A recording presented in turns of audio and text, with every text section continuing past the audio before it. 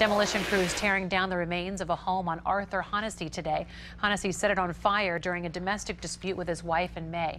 Lee County Sheriff's deputies say Hohensee shot at his wife and daughter on May 22nd, then barricaded them inside before setting the house ablaze.